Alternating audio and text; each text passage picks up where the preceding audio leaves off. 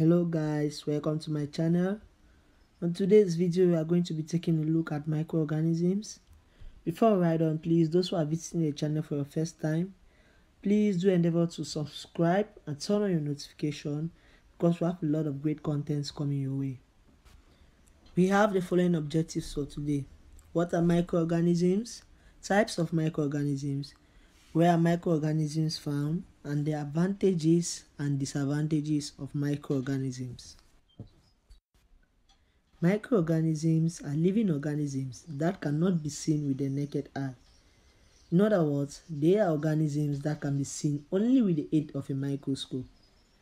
They exist as unicellular cells, multicellular cells, or as cell clusters microorganisms have harmful as well as beneficial effects. So let's take a look at the various types of microorganisms. Firstly, we take a look at the bacterial cells which can exist either as gram-negative or the gram-positive bacteria.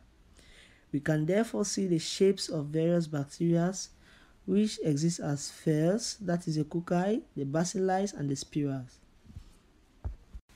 Secondly, we have the viruses, which exist in four main shapes, the helical, the polyhedral, the spherical shape, and the complex shape. Viruses are organisms which become active or living only when they are in a living host. On position number three, we have the fungi, which are classified as follows. We have the Phycomycetes, which are example being rhizospore, the Ascomycetes, which are example being the cell, the Basidiomycetes, and the Deuteromycetes. We can see the picture of some commonly known fungi such as the cell, the mushroom, and the commonly known bread mold.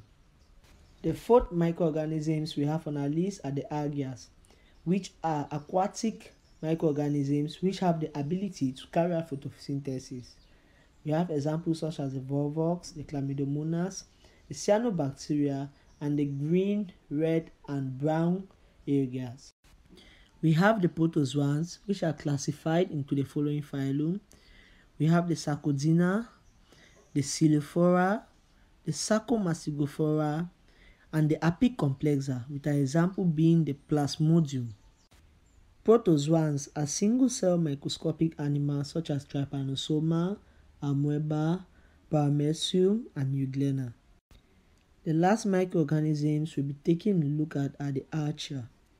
They are classified into the following phylums the Euryarchaeota, the Crenarchaeota, the Nanoarchaeota, and the Korarchaeota. Where are microorganisms found? Microorganisms are found everywhere. They are found in the soil, air, water, and even on our body.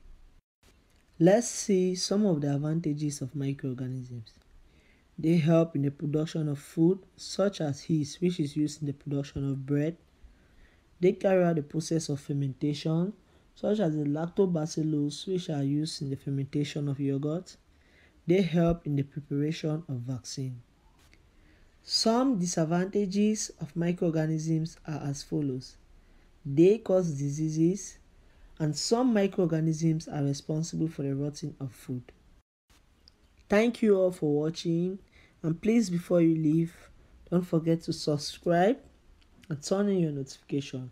So whenever I upload a video you'll be the first to know about it